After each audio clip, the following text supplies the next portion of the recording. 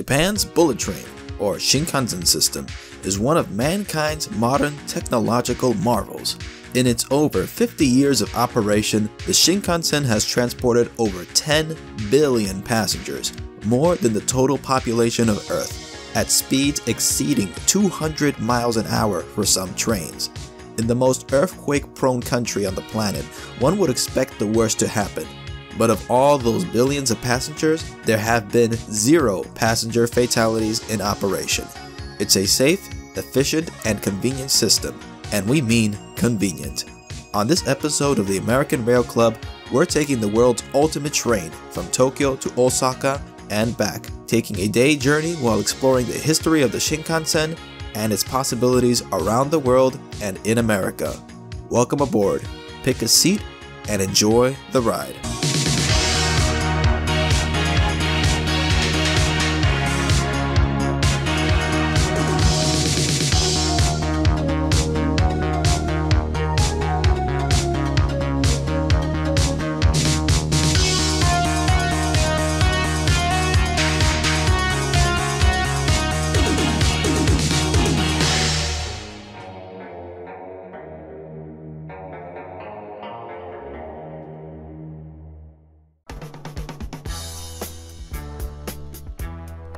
It's early in the morning on our trip to Japan, and we're taking the day to go from our hotel in Tokyo to Osaka. We'll be taking the 7.54 am Nozomi Express Shinkansen from Shinagawa Station to arrive at Shin Osaka by 10.20 am. From there, we'll go to Universal Studios Japan for the morning and afternoon, and then to Dotonbori at night where we will then return back afterwards on the 9:10 p.m. Nozomi to arrive at Tokyo by 11:35 p.m. Pretty full day. None of us ever had a packed travel day like this by train, especially between two major cities separated by over 320 miles. Something like this would only be possible by bullet train, and it's time to start getting to the station. But first, let's pick up something to eat. Grabbing some breakfast over in Kamata was quick and inexpensive, and the food in Japan is pretty tasty and healthier than my guilty pleasure of two bacon, egg, and cheese McGriddles. That's how we start out our morning. Let's do this. You can see how everything's packed. Got my hashi here, and I have a even a cleaning towel, everything too. That's something you don't see back at home. Afterwards, time to take the Keihin Tohoku up to Shinagawa Station with our Shinkansen tickets already bought the day before.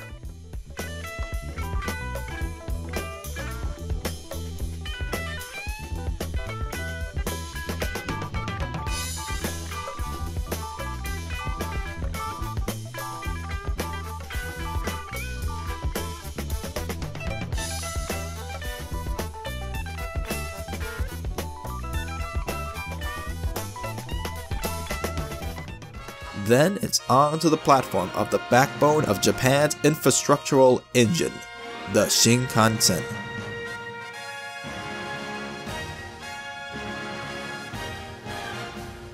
When I mean this system is punctual, it redefines it entirely. The clockwork of seeing this amazing system in action is awe-inspiring to anyone, even if they aren't interested in trains. The engineering, the speed, the timing, the safety, and the people behind it. All of this make it what it is. Finally, after years of talking about it, we're finally here. The one that started it all.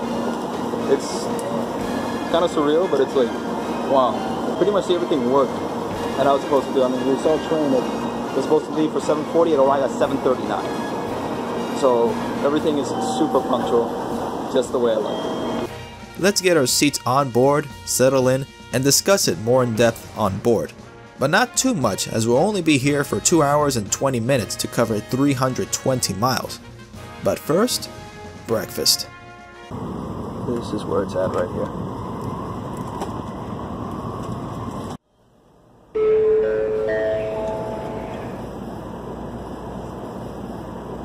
The development of the Shinkansen, literally translated as New Trunk Line, was long in the making.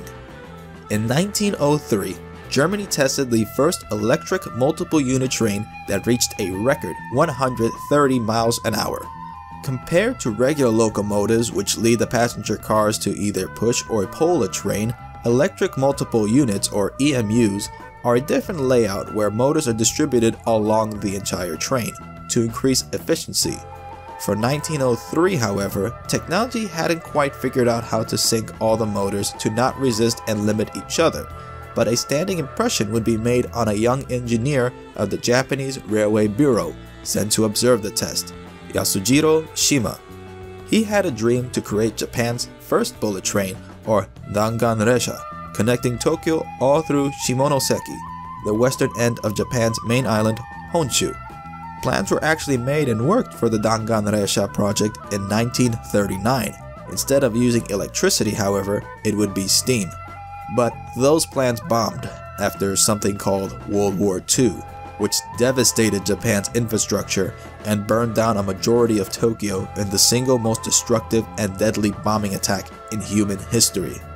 Japan, adhering to the principles of fall down seven times, get up eight, had a chance to reinvent itself, and three major factors would do it.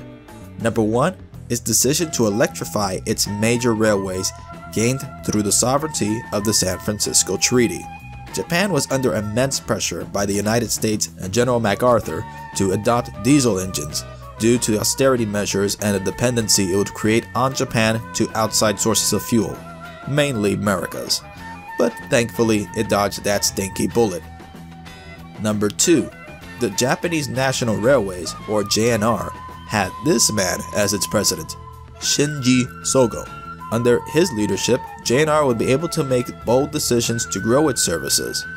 Then there was the Daisan Seiryoku, or Big Factor Number 3, the chief engineer at JNR, Hideo Shima. Remember Yasujiro Shima earlier who witnessed the record test in Germany? Hideo is his son, or Musuko. Okay, I'll try to cut back on the Japanese learning. There is no quiz after this.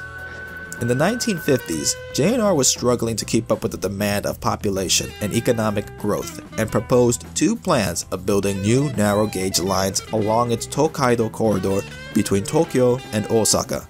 But Shinji and Hideo had a third impact. Plan. I mean, I meant plan. This plan would build a new, larger standard gauge passenger rail network, segregated away from freight and slower passenger trains achieved speeds in excess of 130 miles per hour, as well as follow much of the previous bullet train plan from 1939, except this time using electric multiple units. The 2,500 meter turning radius for corners standard on modern Shinkansen lines, that was actually carried over from the 1939 plan. The plans were approved in 1958, with engineering quickly commencing and construction beginning in 1959 to connect Tokyo to Osaka. This Shinkansen plan, or new trunk line after the standard gauge designation, also brought along the ridicule, moaning, and hysteria from other superiors in JNR, the Japanese government, and the media. All throughout the planning and construction, Shima and Sogo were deemed madmen for sticking to trains in a coming age of automobiles and airplane. Words that would probably make the best humble pie with mince crow later. The Shinkansen was massively expensive, with a budget of 1.6 billion US dollars in that year, which doubled to an actual of 3.2 billion US dollars. From 1963 to 2018 dollars, that's nearly 26 billion dollars. Even including all new engineering, research, design, and manufacturing, it's still more than half the cost per mile of California's now $100 billion project. But because of these cost overruns and out of respect, both Sogo, followed by Shima, resigned from JNR before ultimately the fruits of theirs and thousands of others' labors were realized on October 1st, 1964, right on time for the Tokyo Olympics. The era of high-speed rail had begun. Since the Shinkansen's opening, JNR had run into a lot of cost problems, but contrary to popular belief, this wasn't actually created because of debt acquired from the Shinkansen project itself. Quite the contrary, actually. It paid in spades and it was subsidizing the two biggest losses for JNR forced construction of commuter railways in sparse urban areas, and government constraints on fare increases with inflation. The change came when JNR was eventually split regionally into private companies rather than a public government corporation in 1987. These new Japan Rail or JR companies brought the much needed technological improvements, especially to rail service like the Shinkansen, which stayed with the initial Zero Series Hikari for nearly 20 years after introduction. In 1987, the year of breakup and privatization, the 100 series Shinkansen ran at 137 mile an hour top speed. Top speed by 1992 was increased to 170 miles an hour by the Series 300. By 2000, the Series 500 could reach 186 miles an hour. And today, an E5 Shinkansen can reach 200 miles an hour. Hooray for capitalism. The amazing history behind the Shinkansen is the reason why Japan and its visitors are able to enjoy the comforts it affords today. The seating on board is rather comfy in the reserved class, with plenty of space to stretch out, eat on tables, and put your luggage on top, without worrying about running out of space and checking it in. The bathrooms are pristine, have actual functioning sinks, push button operation, and size properly for actual human beings not goblins like on Amtrak. Japanese etiquette suggests for you to stay quiet at a conversational level in the cars, and if you need a good walking stretch or talk on the cell phone, there's the in-between cars that have cell phones, smoking areas, and bathrooms. The rails on which the bullet trains ride upon are as smooth as a silk kimono. Every night of every day, a crew of about 3,000 across the network perform maintenance and needed repairs on a track that takes close to 370 trains per day. There is even a dedicated inspection train equipped with gear like laser measuring equipment called Dr. Yellow, which is quite a rare sight. But hey, with my luck, I snapped a picture of one in Ginza. Then there's the punctuality of the entire network, which I previously talked about. The average delay, if there even is a delay for the Shinkansen, is a scant 30 seconds thanks to the teamwork of everyone and the skill of the conductors. I'm sure you've seen the videos of cleaning crews that clean these trains that seat 1,200 plus people in only 7 minutes flat. I didn't get a chance to see them, but their work obviously shows as everything is clean.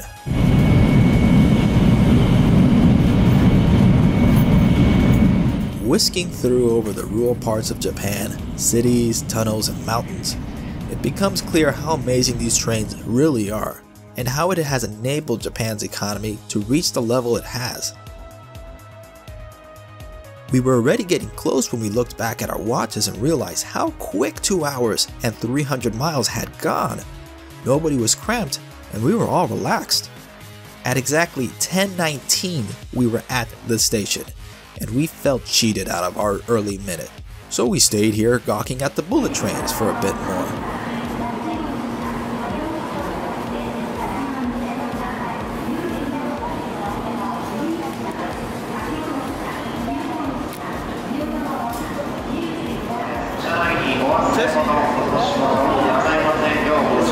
And another geek out.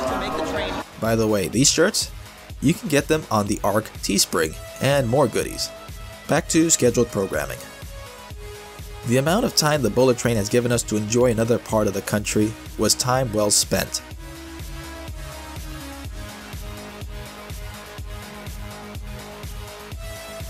That is an absolute violation of the function of the station. From Shinosaka, we were able to easily and quickly board a train to Osaka Station, then transfer on Nishikujo to head for Universal City Station to Universal Studios Japan.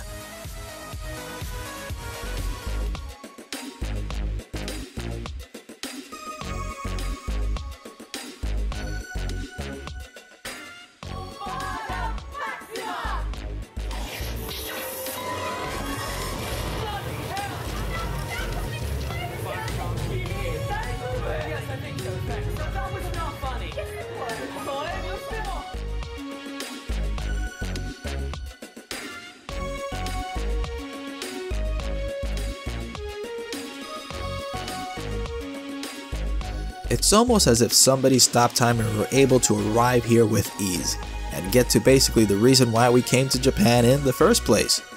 JoJo's Bizarre Adventure, The Ride. After we did all we wanted there, we had enough time to take a train over to Osaka's famous Dotonbori district.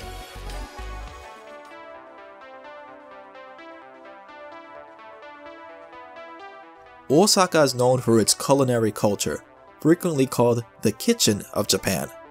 There's even a saying in Japan that goes Kyoto no kidaore, Osaka no kuidaore, meaning one dresses into decadence in Kyoto and one eats into decadence in Osaka. Thus the Japanese term kuidaore, or to overindulge yourself in food.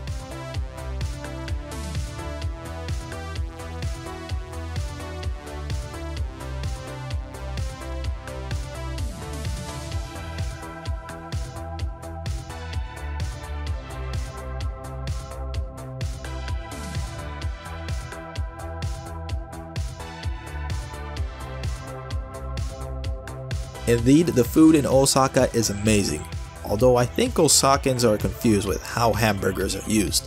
Why Japanese people? Why? But apart from cuisine, the sights and lights of Osaka are enough to feed the eyes and the senses.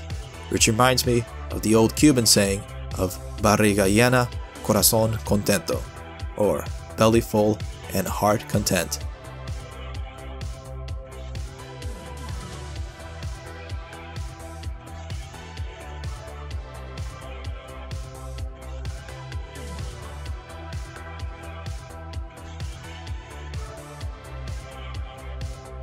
And with our heart content and legs exhausted, it was time to get ourselves back to Tokyo before midnight on the last train home. Upon the platform itself, we were able to get ourselves some Japanese snacks and alcohol to add ice bleary to the ailments. Incredible how convenient it is to have a convenience store right on the platform. It just works.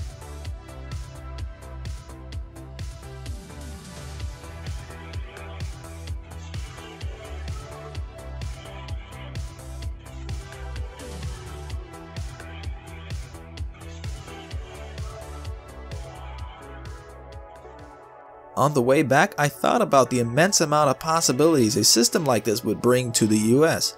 Much of the world, including France, Germany, China, Taiwan, Italy, Spain, and even Morocco, now have high-speed rail systems, while America has dug itself in a dark hole of automobile and airline dependency, the same hole that Japan avoided nearly 50 years ago thanks to the brave and innovative men that pioneered the Shinkansen. The journey we took on the Shinkansen by car would take over 6 hours and 8 by bus. That's already half the day gone.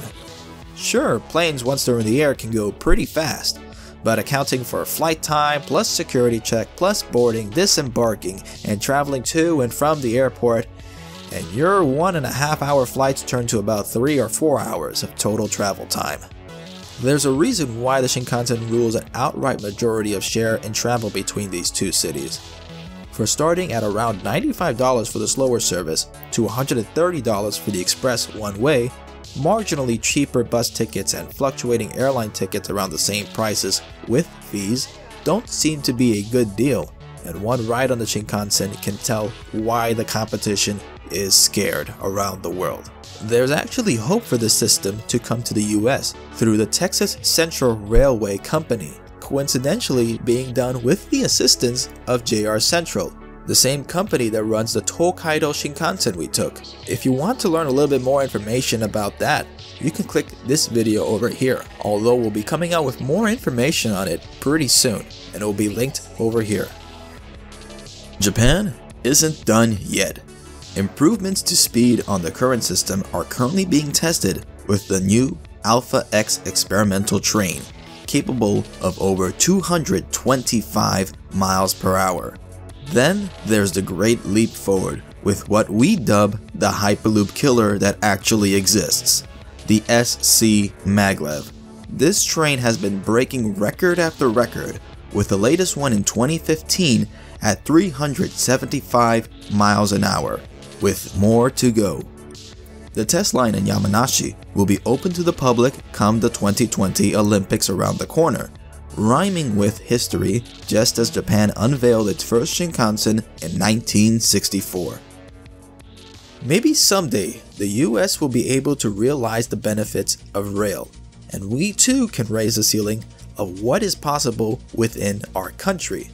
Whether it's an easy day trip to a city 300 miles away, facilitating jobs in the new economy, or bringing family together.